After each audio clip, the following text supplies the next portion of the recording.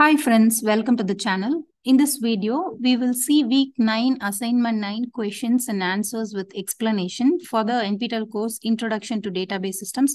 The due date for this assignment is March 29th, 2023. So let's get into the video. The first question is, if the read-write head of a disk has just read a block on surface 20 of cylinder 2, then accessing which one of the following blocks as the next block requires the least amount of time compared to others. So actually the disk head is currently positioned at cylinder 2 and surface 20.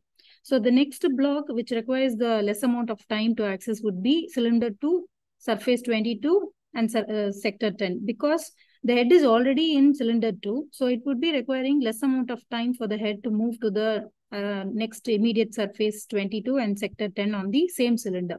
So if you consider the other options, it would require the head to move to a different cylinder or uh, to a different surface, which requires, uh, which uh, so which would require more time because um, we have to move to the uh, next cylinder and then we have to move to the corresponding sector.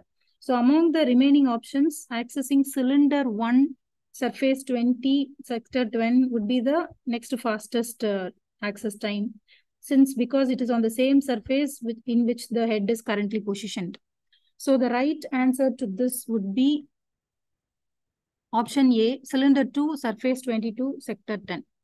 The next question is, suppose F is the file containing the first level of a secondary index built on a non-ordering key field for a data file. The blocking factor F is independent of which of the following? So here, if you see, the blocking factor F, which is nothing but your uh, uh, number of entries which can fit in a block of F it is independent of the, if you take the fourth option, it is actually independent of the length of the record pointer. The use of record pointer is it is used to locate the actual data record in the data file. And it is usually present in the leaf, stored on the leaf nodes of a secondary index. Uh, so if you take the block factor, blocking factor of F, it depends on the block size and the length of the index entries, which is composed of your non-ordering key field and the block pointer. So the use of block pointer is it is used to locate the next level of index or it is used to locate the actual data record in the data file, depending on whether your index is a single level index or a multi-level index.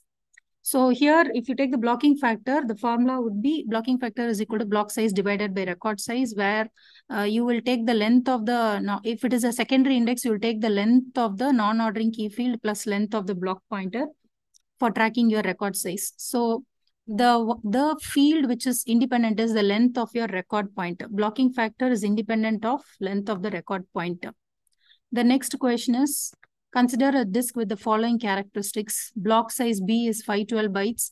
Interblock gap size is 64 bytes. Number of blocks per track is 20 number of tracks per surface is 400 a disk pack consists of 15 double sided disks.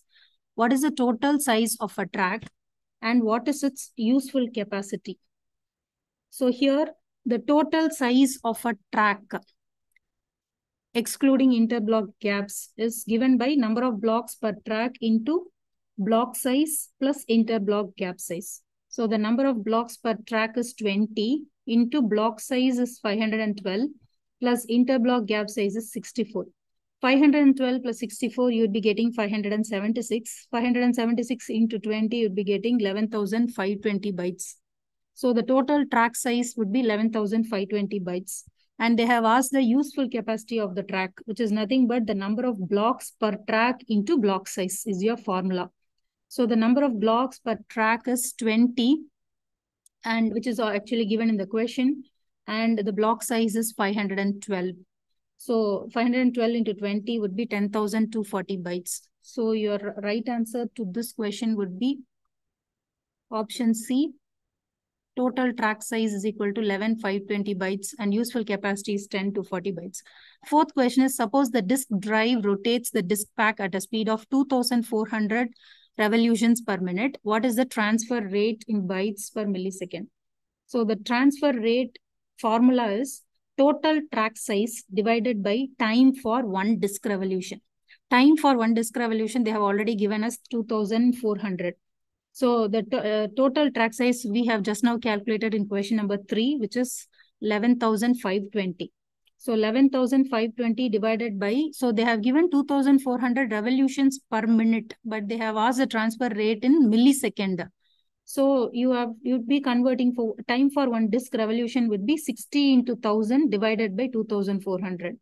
So you'd be getting that, that as 25. So 11,520 divided by 25 would be 460. So the answer would be D, 460 bytes per millisecond. We'll see the continuation in the next video. Thank you. Take care. Bye-bye.